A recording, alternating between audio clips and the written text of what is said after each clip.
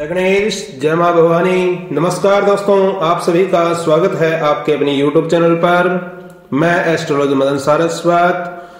आज आप सभी के लिए 2023 के वर्ष फल में आज तुला राशि का वर्ष फल तुला राशि का राशिफल, और उसमें आप सभी को आज मैं बतलाऊँगा कि तुला राशि के जातकों का यह वर्ष कैसा रहेगा। और किस प्रकार से तुला राशि वाले जातकों के लिए इस वर्ष में ग्रह गोचर की स्थिति रहने वाली है? 2023 में दिनमान राशिफल क्या होगा और तुला राशि वाले जातकों को क्या करने होंगे उपाय?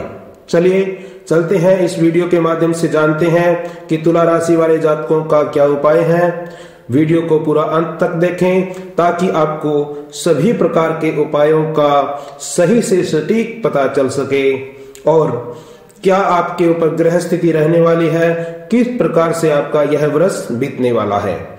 तो आप इस वीडियो को ध्यान से सुने, ध्यान से देखें ताकि आपको राशि के अनुसार सभी प्रकार की समस्याओं का निवारण मिल सके। सबसे पहले जानेंगे अपने कि तुला राशि के जातकों के नामाक्षर क्या है? तुला राशि के जातकों के नामाक्षर हैं रा, री, रू, रे, रो, ता, ती, तू, ते। ये नामाक्षर चित्रा, स्वाति और विशाखा के चरणों के अंतर्गत आते हैं। इन नामाक्षरों के जातकों का तुला राशि का राशि फल सही और स्टिक रहेगा। तो आइए चलते हैं तुला राशि का ग्रह गोचर दिनमान, कैसा रहने वाला है?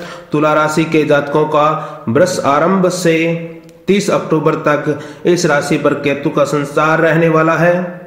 इस संचार अवस्था के कारण घरेलू तनाव रहेगा, कार्यक्षेत्र संबंधित परेशानियाँ अधिक रहेगी, गुप्त चिंताएँ बनी रहेगी। वृष आरंभ से 17 जनवरी तक शनि की ढैया भी तुला राशि पर रहने वाली है। तारीख 15 फरवरी से 11 मार्च तक। राशि स्वामी शुक्र मीन राशि में, मीन राशि में संचार करेंगे तथा 12 मार्च से 5 अप्रैल तक शुक्र की स्वग्रही दृष्टि रहने से मान सम्मान और प्रतिष्ठा में वृद्धि होगी। अकस्मात धन लाभ के योग बन रहे हैं। अपने कार्य में उत्तरोत्तर उन्नति होने की भी योग बन रहे हैं। तारीख 14 अप्रैल से 14 मई तक इस राशि पर सूर्य की नीच दृष्टि तथा 22 अप्रैल से वर्ष के अंत तक गुरु की शत्रु दृष्टि रहने से बनते कार्यों में आपको अड़चने पैदा होंगी। तथा तारीख 30 मई से 2 नवंबर के मध्य राशि स्वामी शुक्र क्रमशः कर्क व सिंह राशि में संचारित होने से मिश्रित फल आपको प्राप्त करेंगे। सामान्य फल आपको तुला राशि के स्वामी शुक्र देंगे। जो कि मध्य के अंदर आपको उच्च स्थिति होने से शुक्र बहुत ही अच्छा फल देंगे। इसके अलावा इस वर्ष का ग्रह गोचर प्रतिचार दिन दशा का प्रारूप शुभ फल पद ही प्रतीत होता है। आपकी कला योग्यता, पात्रता गुण धर्म के अनुसार यथोचित सफलता का अवसर आपको बहुत ही उत्कृष्ट मिलेगा।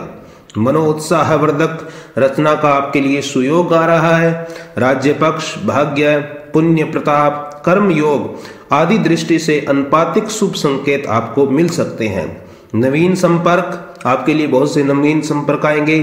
नए नए कार्यों की योजनाएँ आपके लिए बनेगी। वरिष्ठ व्यक्ति उच्च व्यक्ति से आपका संपर्क होगा। कार्य क्रिय शक्ति में उत्तरोत्तर वृद्धि होगी आपके लिए। यह वर्ष मध्य में ग्रह गोचित गणना के अनुसार कुयोग का प्रारूप आपके लिए 30 प्रतिशत आ रहा है और सुयोग का भावी स्थिति आपके लिए 70 प्रतिशत विदित हो रही है। इस अनुपात के अनुसार ही आपका यह वर्ष रहने वाला है। शरीर सुख, प्रसाधन, स्वास्थ्य विषय प्रारूप आपके लिए ठीक रहेगा। उद्योग, व्यवसाय तथा लाभ आमदनी का प्रतीक पक्ष भी आपके लिए ठीक रहेगा। इसके अलावा प्रतिफल जीवन का भी आपके लिए चरितार्थ बहुत अच्छा रहेगा। अधिकारी गण से मन अनुकूल वातावरण बनते मांगलिक कार्यों की भी रचना आपके लिए होगी। और यह सुयोग आपके लिए बहुत सा ही शुभ फल प्रद होने वाला है। इसके अलावा आपको मूल्यता धर्म मध्य वर्ष भाग उपरांत स्वीकार रहेगा। प्रतिफल प्राप्ति प्रति शनिवार को आप इसके लिए एक उपाय कर सकते हैं।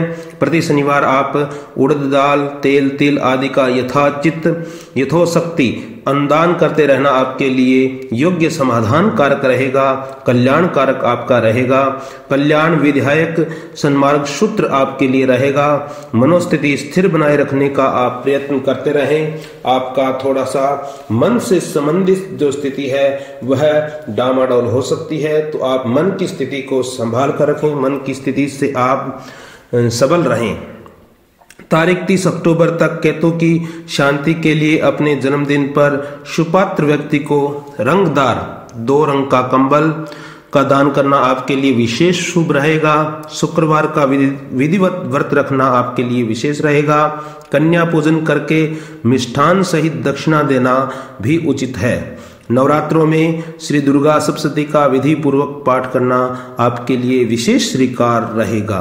ये आप उपाय इन साल के अंदर, इन दशाओं के अंदर, इन ग्रह स्थितियों के अंदर आप यह उपाय कर सकते हैं। ये आप उपाय करें अपने परिवार वालों की जो तुला राशि के जातक हैं, बच्चे हैं, बुज़ुर्ग हैं, उनको आप यह उपाय करवाएँ और इसकी शुभ फल प्राप्ति के लिए भी आप भगवान श्रीमन नारायण से भी प्रार्थना करें। सूर्य नारायण को अर्घ देते रहें और माता पिता को प्रतिदिन प्रणाम करें।